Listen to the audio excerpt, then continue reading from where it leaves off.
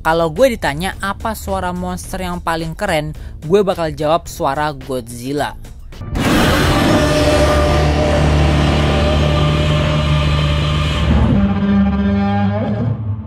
Kalau untuk musuhnya, suara Godzilla bisa jadi sangat menakutkan, tapi untuk teman, suara Godzilla itu justru jadi sebuah harapan.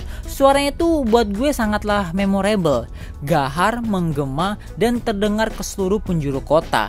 Ketika suara monster lainnya creepy dan bikin takut, justru suara Godzilla entah kenapa membuat gue bangga gitu. Jadi bukan cuma sekedar raungan monster, tapi juga jadi semacam selebrasi kemenangan atas pertempurannya. Makanya suaranya terdengar sangat merdu dan penuh dengan rasa kepuasan. Tapi sekeren-kerennya suara Godzilla, tetap suaranya tidak dihitung ketika pemilu. nah, kalau menurut lu, apa suara monster yang paling keren dan paling memorable? Hmm, komen di bawah ya.